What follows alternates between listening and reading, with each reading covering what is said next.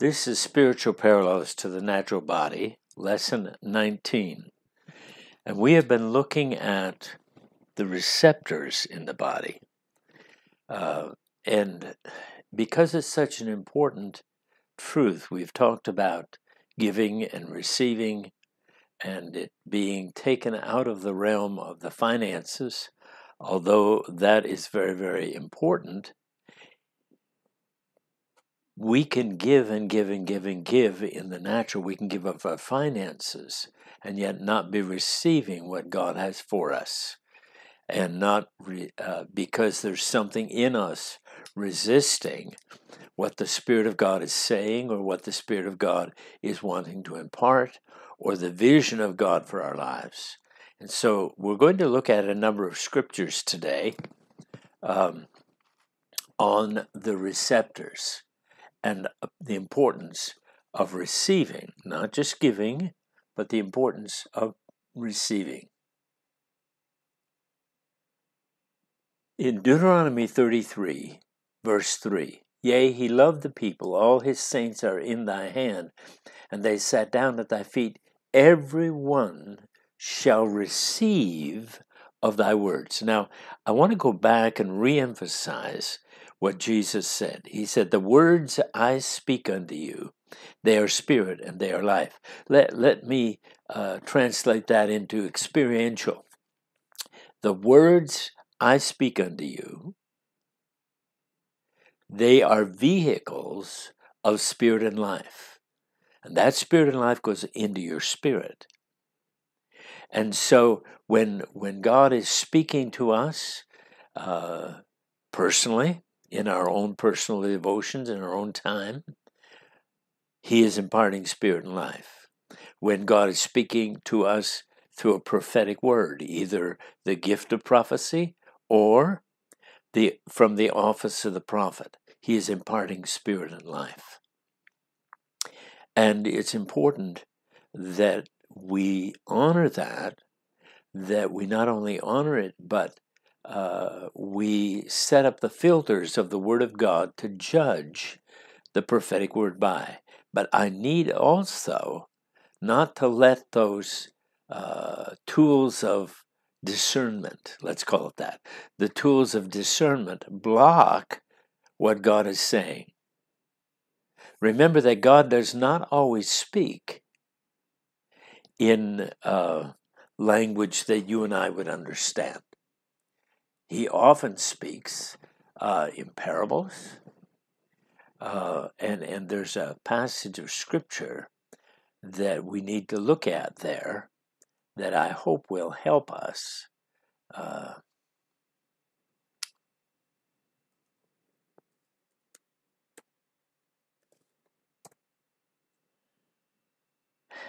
and it's in Proverbs. Um, let me get there quickly.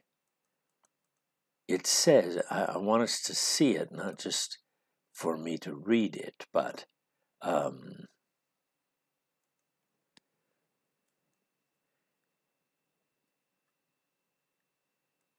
in Proverbs 25 and verse 2. Let's go there uh, on our screen.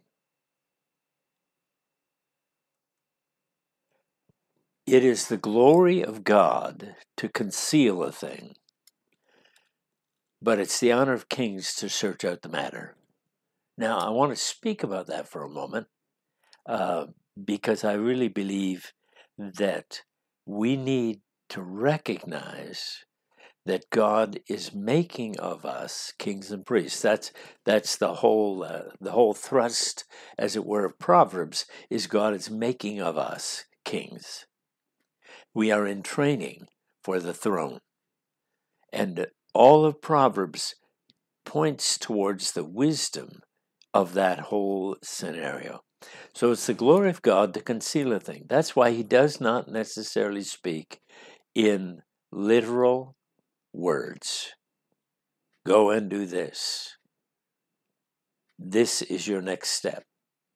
But he will conceal it in a vision, in a dream, in a dark saying, or a cryptic saying, or in parables, or in what we have always called a story, an allegory.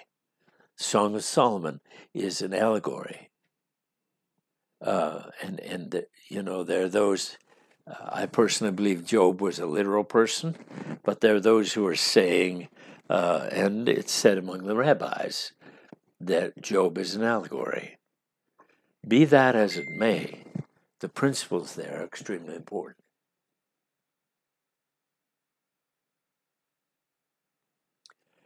Uh, and and when we see that, we need to say, Lord, how do I search this out? I want to gain honor as one in training for a king.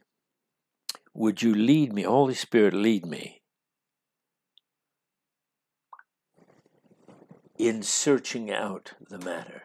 Because remember, only the Holy Spirit knows where the answers are.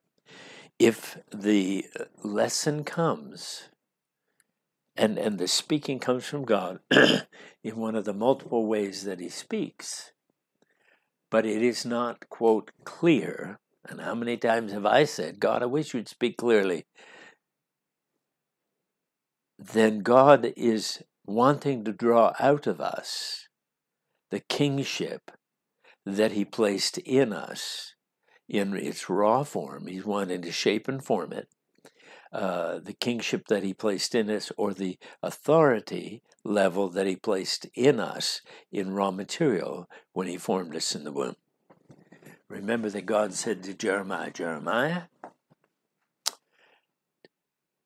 I have when I before thou I before I formed you in the womb, I knew you and called you to be a prophet to the nations.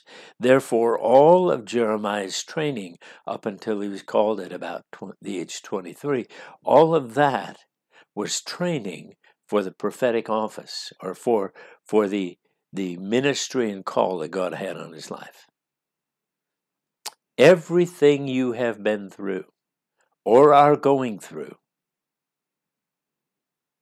is with God's purpose and God's destiny for your life in mind.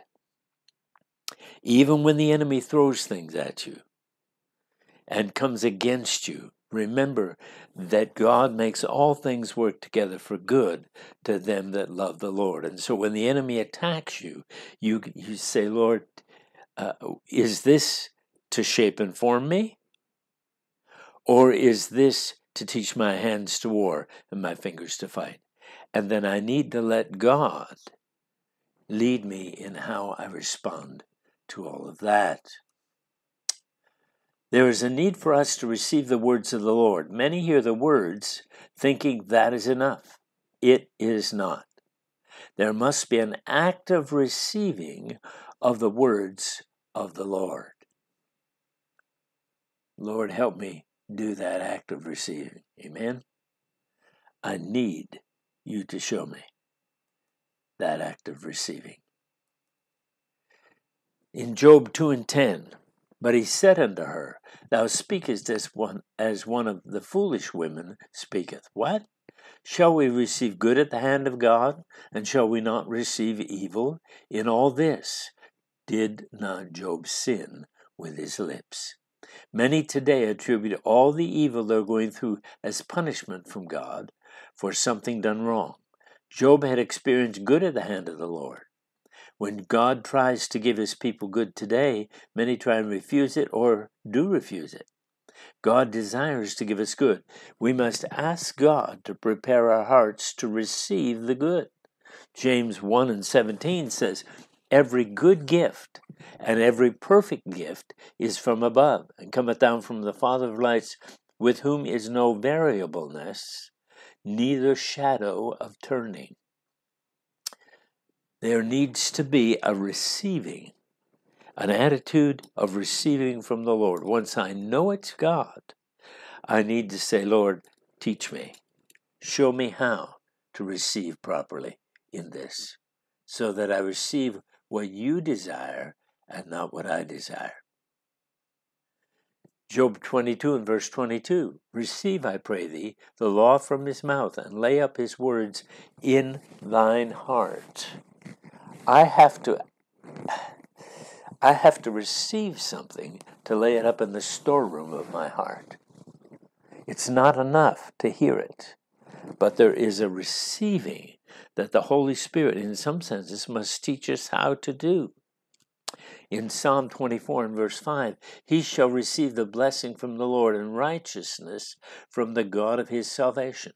In other words, God wants to give blessing and he wants to give righteousness, right standing with God and right standing with man in Proverbs, uh, there's a whole, by the way, there's a whole bunch that could be taught on that, but we need to get into say, Lord, teach me how to receive. Not grudgingly, not, uh, oh, there's, I have no choice. If I want to go here, I have to receive this, I have to go through this. But a hearing from God, so that everything I receive from the Lord, there is an impartation of spirit and life. God wants to put so much life in me as He did in Enoch that I just keep right on walking. There are going to be a people in the end time that just keep right on walking. They're going to be alive and remain. Oh, I wish we could hear that. Or they're going to be alive and consistent. Why? Because spirit and life have been imparted to them or made available to them, and they received it. Proverbs 1 and 3. Now, the whole book of Proverbs is to receive instruction of wisdom, justice, judgment, and equity. All of those things are needed by kings. And we need to let God work them in us. Instruction and wisdom can be received. Now, you can hear wisdom and not receive it. Instruction and justice can be received. There's one that we really need because, see, social justice is invading the church. But that's not God's justice. God's justice is balanced.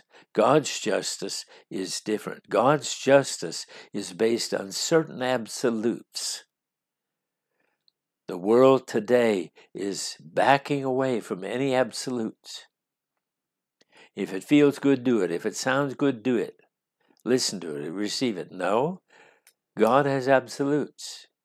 He is absolute truth, and his absolute truth is balanced out with mercy, as we've seen in another uh, in our teaching on Proverbs. Instruction and judgment can be received. Remember, we're to grow up into Him in all things. Grow up into Him in wisdom, into the head in wisdom. Grow up into the head in justice. Grow up into the head in understanding and receiving judgment. And grow up in instruction, in equity or balance that God wants to give us. I had come to, I've come to the conclusion that although God's called me to be a man of balance, I do not know what balance is. Uh, and so the Holy Spirit must lead me into the truth concerning balance. Proverbs 8 and 10 Receive my, my instruction, and not silver, and knowledge rather than choice gold. Wisdom is speaking here. We need to value what God values. God values wisdom. God values instruction. God does not value silver and gold. Silver and gold are means to finance the kingdom, but the kingdom is an internal thing. The furthering of the kingdom can be financed by silver and gold. But remember, silver and gold, at least silver, is going to pass away. If we believe that the, that the city, the holy city, is a literal uh, thing, and, and I never do away with that, if we believe it's a literal place, a literal building, then there's going to be gold in heaven. And it's going to be pure gold, transparent. But remember, it's pavement. The streets are the pavement in heaven is gold. Well, we won't go there. Okay. Proverbs 7 or no, 10 and verse 8 The wise wise in heart will receive commandments, but the prating fool shall fall. The receiving of commandments are the receiving of the instructions of God, the Rhema word of God, and hearing it not just uh, in our own spirit, but hearing it from others and witnessing too that it is the instruction of the Lord or the commandment of the Lord. The wise in heart are willing to submit, which receiving commandment speaks of. Proverbs 19 and verse 20 Hear counsel and receive instruction, that thou mayest be wise in thy latter end. Oh, I wish we could hear this. Not immediately, but after God has deposited the composite of wisdom and years in us through through both the spoken word, the rhema word, the written word, and the experiences of life in which the Holy Spirit has instructed us. Many go through things, but they never gain wisdom because they don't hear what God is saying in the midst of it, whether it be opposition against them, whether it be something they're going through that's good. Pardon me. Pardon me. There's a difference between hearing and receiving. Here we are told to hear counsel and receive instruction from the counsel. This points up to us that we can hear but not receive anything from it. Oh, I wish we could hear that.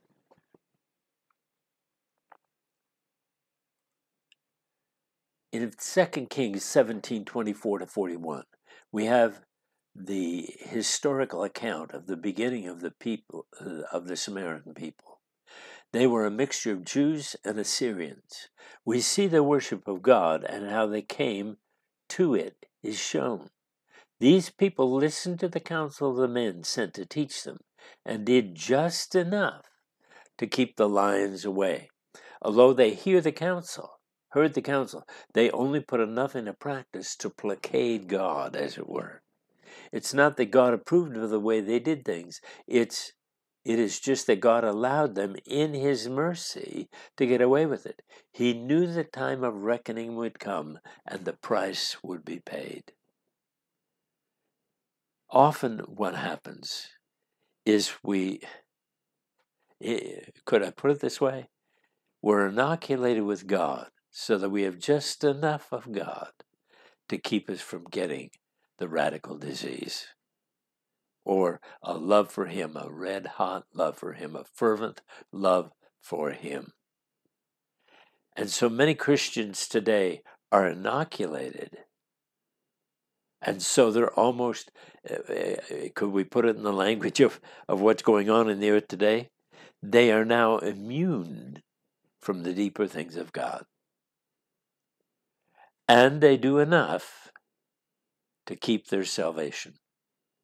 Now, I'm not going into can you uh, lose your salvation and all that stuff. I'm, I'm just I'm just making these comments along the way to try and get us to hear what the Spirit is saying to the church. Are we really hearing? Jeremiah talks about people that hear but don't hear. Many hear counsel with the outer ear and often put them and often Uh, put the actions in place, but their heart has not caught the counsel, and therefore their lives are not changed. God wants us to hear with the ear of the Spirit in our spirit and catch the spirit of the matter. When we do this, we have received instruction, and out of our spirit will come the right action with the proper motivation. Jeremiah 5:21 says, "Hear now this, O foolish people, and without understanding, which have eyes and see not, and have ears and hear not. Malachi 3 and 10 says, Bring all the tithe into the storehouse.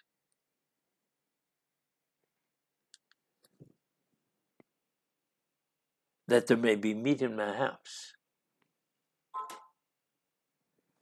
And prove me now herewith, saith the Lord of hosts, if I will not open you the windows of heaven and pour out a blessing that there will not be room enough to receive it. God wants to bless his children in some of the promises of God, there are conditions. Oh, I wish we could hear that. On others, there is none. In either case, God wants us to receive blessing. If God pours out blessing, it's important for us to receive what God's pouring into our lives. Many are not blessed because when God pours out blessing on any level, they try in their mind to justify what they're receiving. I am receiving this because of what I've done. But remember, God pours out in His mercy. We reject it if we do not think we have deserved it, thereby doing despite to the grace of God. Oh, I wish we could hear that. Some, some of these statements are more impactful today to me than when I wrote them years ago in that course.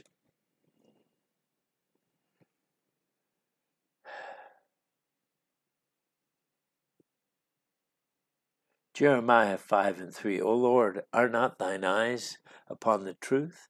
Thou hast stricken them, but they have not grieved. Thou hast consumed them, but they refuse to receive correction. They have made their faces harder than a rock. They have refused to return. Now, by the law of converse interpretation, we find that we must receive correction.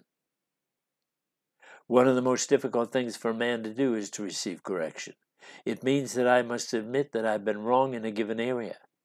This strikes a blow to my pride, which in many of us is large. When we receive instruction by correction, it's not enough to change our actions. When we truly receive correction, our motivation is corrected to such an extent that the action that drew attention to the motivation can be carried out and in a different attitude, one of humility and submission that can be sensed by those who before sensed the need for correction. Oh, I wish we could hear that. That's a, this is more than just doing the right thing.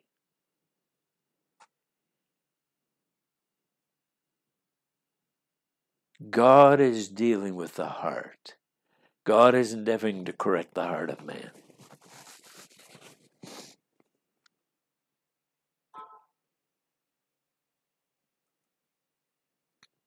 Now in Matthew 19 and 29, and every one that hath forsaken houses, or brethren, or sisters, or fathers, or mother, or wife, or children, or lands for my name's sake shall receive a hundredfold and shall inherit everlasting life. Now, listen carefully because many have, have used this again for the prosperity gospel. And, and although God wants us to prosper, the natural level of these things is the lowest level of fulfillment of the of a word. God wants to take it beyond that into the realm of the soul and into the realm of the spirit and bring us into a greater place. There, there is a giving that God wants to do in the body of Christ that many are not open for. When we leave all to follow Him in whatever dimension, we find there comes into our life a sense that we do not deserve to have any replacements in our life. Because of this, we fight God bringing into our life replacement. We may have had our natural relatives close at hand, and they may even have been impediments to our walk with God because we treated them with undue respect. we feel that God will punish us by making us walk through life without any relationships as close as those we had. This is not the purpose of the heart of God. He wants to give us the other, He wants to give us replacement. And when God restores, He restores better than what it was in the first place. Oh, I wish we could hear that.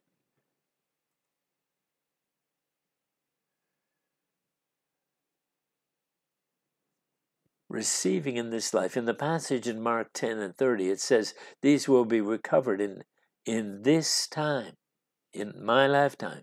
The one qualification of Mark passage is that it will be with persecutions. God wants to give as we put the kingdom first houses, brethren, sisters, mothers, children, and lands to his children. The persecution, I believe, could be related to the pressures that are spoken of in our text. All of these things the receptors speak of. If we had time, we would go into all the scriptures on receive. We would find many other truths. God could not have given his only Son if no one would have received him. It is true that love gives without expecting uh, in return, but in the foreknowledge of God, he knew others would receive, therefore he gave. Let's pray. God of all grace, we ask for the grace to walk in humility with an attitude to receive. We recognize that the natural human of this age has inherent pride that would keep him or her from receiving from others. We're taught a falsehood that maturity is independence, when the truth is spiritual maturity is interdependence by choice. Would you convince a people of that and bring them into that level of maturity? It is a work only your Holy Spirit can do, so we ask Him to do it in us. In Jesus' name we pray. Amen.